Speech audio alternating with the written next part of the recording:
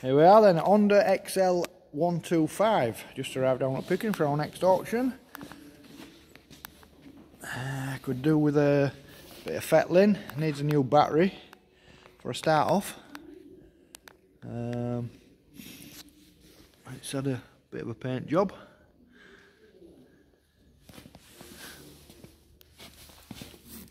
Ah, wheels could do with the re-chroming. Some new handlebar grips. Yeah just a general tidy up and fettle. I think it could make a little good little bike. Uh, well I don't know what that says. It's in between a load of them you'll, you'll make your mind up where it is. It's in kilometres.